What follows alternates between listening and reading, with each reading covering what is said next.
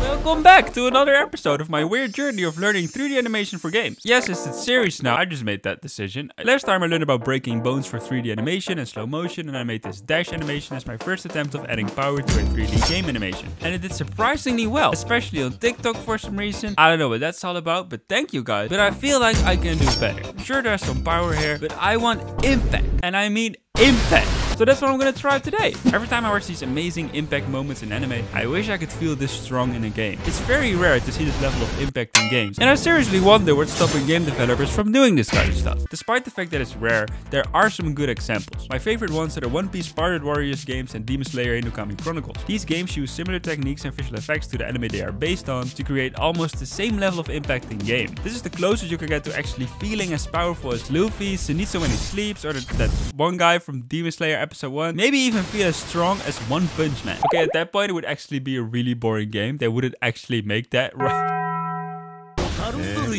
But even then, I still specifically never see any impact frames in games. If you don't know about impact frames, last video I explained them like this. It's these couple of frames of pure black and white right at the moment of impact. And you know, logically, makes no sense at all. But it looks awesome. If you know any games with impact frames, let me know in the comments. And nobody in the comments mentioned any games with impact frames. Well, okay, there's someone saying, I think CC games uses a lot of in-game impact frames. I might be really stupid, but I don't know what he means with CC games. Googling it did not help me out. Someone please explain. I really believed they didn't exist until I noticed Zenitsu's special move has an impact frame. Finally. And look how awesome this is. Why was this so hard to find?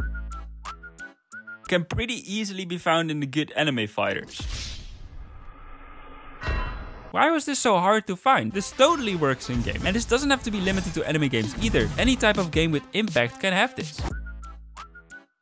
It's generally not included because of accessibility. It's pretty fair to argue that any kind of really over-the-top visual effects is not that accessible. But I don't know. I mean, how many people watch animes with impact frames? Are those not accessible? I think it can be accessible. Maybe not if like like your, your grandma's playing Candy Crush and all of a sudden there's impact frames.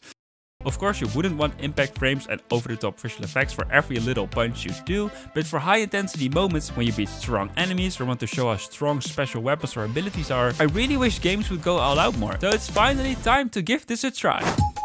I'll be using Blender and the game engine Unity for this. This time I want to make a high kick animation. I was inspired by this amazing Sanji kick animation. Then I had to decide if I was going to film myself for reference again and risk fucking straining a muscle or something. I can't even get it this high up. I, I literally can't. Or find some footage online. And then I found out the same guy I used reference from last time has kick animation reference as well. I cannot believe how amazing this channel is. So I started animating and it took me quite a while to get the poses right and understand what the hell he's even doing with his feet. But eventually I did it. Then I broke the bones again. I also completely skipped any anticipation. I made him kick totally out of nowhere. Because if I want to prove this will work in a game, you want to be able to press a button and immediately do a kick. Now time to add impact in Unity. In regular animation you can just draw specific impact frames. But in games for it to work in different scenarios, it requires something called custom image effect shaders, which is a very technical and complex subject I always postpone learning because it's scary and intimidating. But Unity now has a full screen shader graph for little baby artists like me who want to connect little dots instead. Let's go! So I spent an hour updating Unity and then I learned there are themes for Visual Studio. And look at all these cool color palettes. Oh, it's that late already? So I finally imported this animation into a new Unity project. Where the fuck are his hands and feet?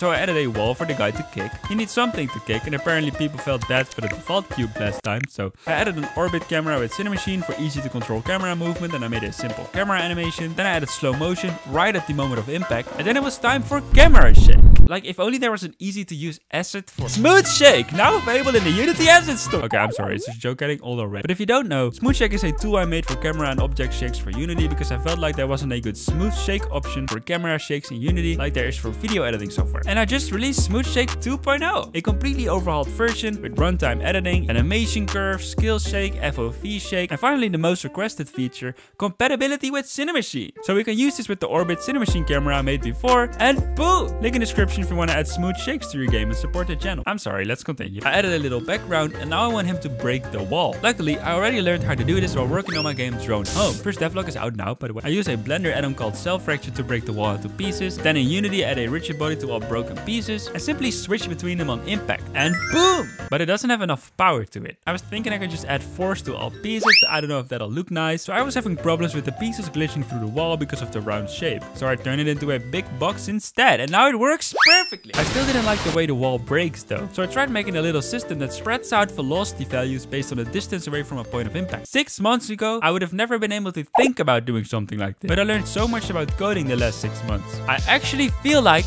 I can do this now.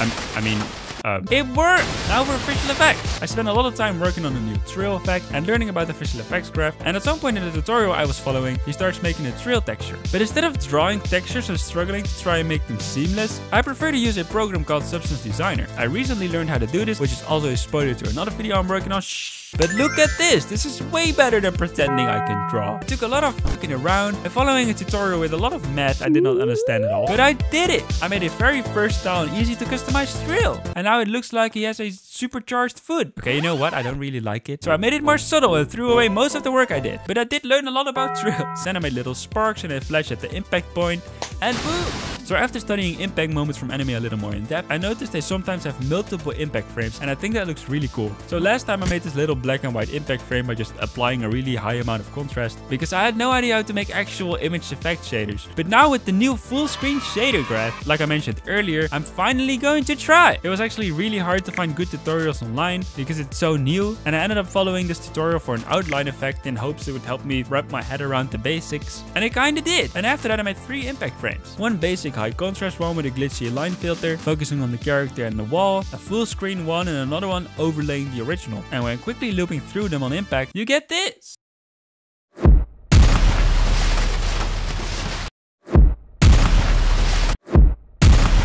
I'm pretty happy with the result. This is definitely a lot more impact than last time. So this is pretty awesome, but the real challenge is going to be combining this with an actual fighting game. Next up, I want to make a little game prototype because actually making you feel strong is not just about impact frames and shake. It also has a lot to do with game design. I didn't mention this before, but you can have amazingly powerful animations, but if it takes 50 of those powerful hits to kill an enemy, you still don't feel powerful at all, which can be a problem, for example, in the Demon Slayer game. But on the other hand, if you have a thousand enemies surrounding you, you can easily kill them with a couple hits like in One Piece Pirate Warriors, it sometimes feels like these enemies are just really weak instead of you feeling strong, though it's better. It's a hard balance to get right. So next up I want to try and prove my theory with an actual game prototype. And you know what, I think it's finally time to ditch this gray character and make my first own proper custom character rig. I really want to try and convey personality through movement of an actual character next. I think it's finally time. But if you watch my learning sculpting in 7 days video, you know I still have a long way to go. but that's not stopping me. Thanks for watching. See you guys next video. Something important I want to say, I'm going to be a third year game art student next year, which means I will have to do an internship and another full-time project for a company. Both things I won't be making videos about and probably not even talk about due to NDAs and stuff like that. I'll sadly won't be able to upload as much the following year. I'll try and see what I can do in the little free time I have. But the good news is in my fourth year, I will be working full-time on my own gaming graduation project. So I will be back. Hit the bell if you want to be notified and follow me on Twitter for updates. If everything goes well and my dreams come true, I can do this full-time from that point on and I will be able to upload a lot more. You know, it's a pretty ambitious dream. We'll, we'll see what happens. There's a lot of comments in a lot of languages, but luckily TikTok has a translate option.